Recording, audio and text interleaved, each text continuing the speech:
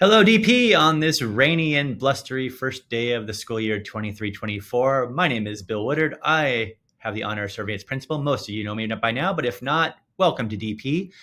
Uh, just wanted to get you used to every day in class at the beginning of second period, you will see our DP News program. That's why we have five extra minutes uh, added to period two every day. Um, want to just make a few announcements because our DP News program will usually do this, but they are still getting their new studio up and running. So for now, it's me.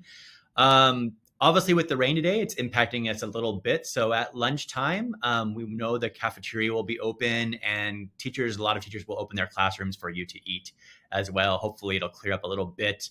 Normally, a lot most students eat outside.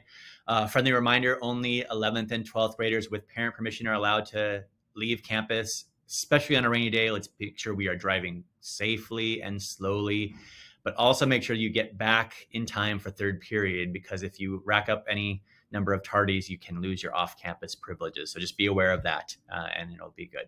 Uh, we know students are still finding their way around campus in your classes, so don't worry about being a little bit late this week. Um, but do your best to get there on time. Uh, chargers are always on time, and we want to make sure that happens.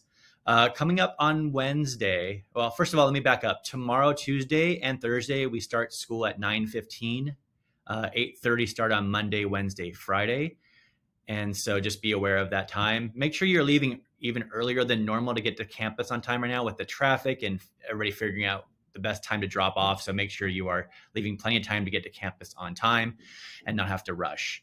Um, you just had nutrition uh, break after period one. So there is nutrition served daily in the cafeteria. Um, we have a 12 minute break between period one and period two for you to get there. Um, we the line does look long, but it does go fast, and we want to make sure we have time to eat as well. So uh, we'll work on that. Uh, and then finally, on Wednesday and Friday, we'll have our period nine seminar class after period one and you don't have your seminar assignment on your schedule that was printed, so you're going to have to look on the Aeries portal to see where you are assigned for seminar on Wednesday and Friday. So just log on to Aeries when you have some time later today or tomorrow and uh, find out where you're headed for period nine. Uh, with that, have a great day. If you have any questions, definitely reach out to me or any of the admin team or come by and say,